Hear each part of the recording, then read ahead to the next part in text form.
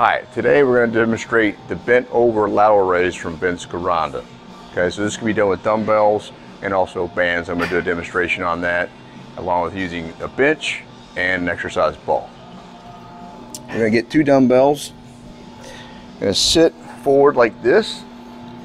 You're going to bend over. You're going to come up, bring the dumbbells like this. So you got one higher than the other and then back down. So exhale, bring it up, hold for like a six count. One, two, three, four, pause. Up, one, two, one, two, three, four, five, six. Down nice and slow. Bring it up, hold.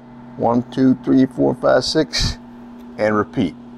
Okay, now also, if you have a bands, you take the bands, put these underneath your feet, and depending on how much tension you want, you would just adjust your feet, the width, okay? So it'll be like this. I'm gonna come out, bringing the elbows in and out. A little bit less tension right here. Okay, here we go. We come up. Again, I got my one hand higher than the other on the palm. Down slow, bring it out, hold, down slow, depending on the tension.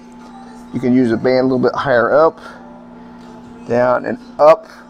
You're keeping your head down like this, looking the back part of the shoulder. Okay?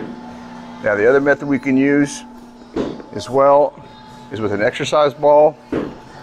If you don't have a bench,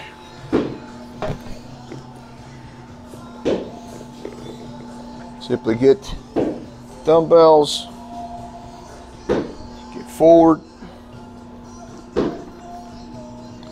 Gonna come under again, bring it out, hold.